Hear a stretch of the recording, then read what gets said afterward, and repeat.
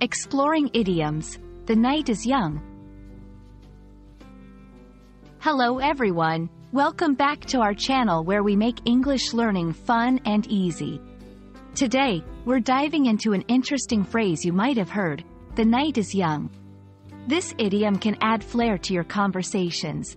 So let's explore what it means and how to use it effectively. Get ready to enrich your English vocabulary. The night is young is an idiom that implies that it is still early in the evening and there is enough time to enjoy, have fun, or accomplish something. It's often used to suggest that there's no need to hurry or end the evening's activities.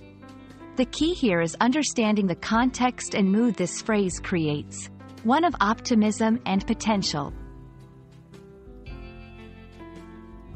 Interestingly, the origin of the night is young is not very clear, but it has been a part of English language and literature for a long time. This phrase is commonly used in social settings, especially when people are enjoying themselves and want to continue their activities. It can also be used metaphorically to suggest that there is still plenty of time left for something to happen or to achieve something. Let's see how this phrase is used in everyday conversation. 1. At a party, why are you leaving so early? The night is young, let's enjoy a bit more.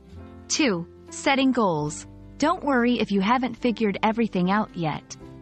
The night is young, you have plenty of time to explore your options. While the night is young is the most common form, there are variations like the evening is still young or the night is still young. The meaning remains the same, emphasizing that there is still time left in the evening.